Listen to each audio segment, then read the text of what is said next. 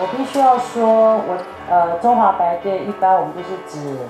比较年轻的球队，或者是讲未来可以衔接中华队。实际上在这一届中华白队对我来说，这个名单其实我也呃想了蛮久。本来是想说是不是全部都要用二零一九四大运大学生的一个呃资格来组这个队。而实际上我这个队大家都知道，我七月一号才开始集训，所以非常非常的短暂的一个潜伏的计划。而且我收到讯息是说，我这个队是叫做潜入培训的一个。计划啊，像体育署申请一个计划的团队，所以我觉得如果既然是潜培，就并没有一定要针对是二零一九。